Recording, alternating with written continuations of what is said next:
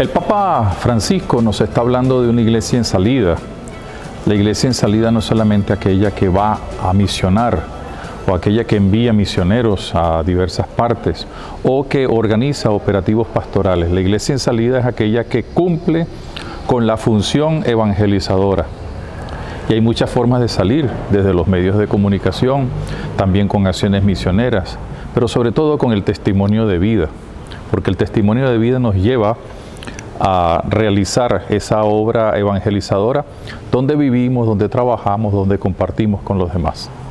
San Pablo escribe al inicio de la carta a los tesalonicenses una acción de gracias. Él da gracias a Dios porque los cristianos de Tesalónica, pues no solamente han asumido la palabra de Dios, sino que se han convertido en ejemplo para todos los demás. Y Él da gracias porque esa palabra que ha sido asumida, no solamente ha sido asumida para la vida cristiana, ha sido asumida para las celebraciones litúrgicas, sino sobre todo para convertirse en testimonio.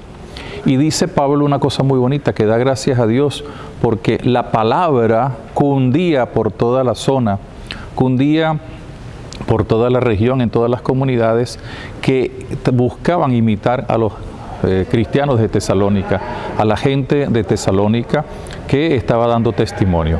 Ese es el mejor modo de realizar eso que el Papa nos pide de tener una iglesia en salida, una iglesia que va a evangelizar allí donde está la gente.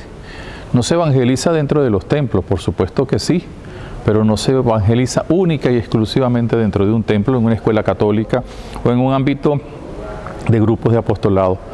Nosotros evangelizamos donde está la gente. Y donde está la gente tenemos que llegarle con el testimonio de vida. Ese es el gran reto que tenemos.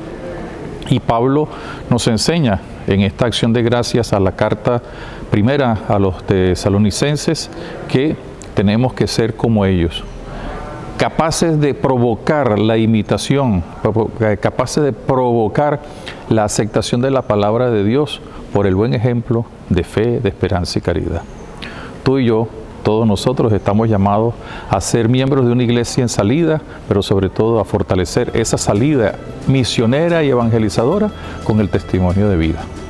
Que Dios nos bendiga en esta tarea.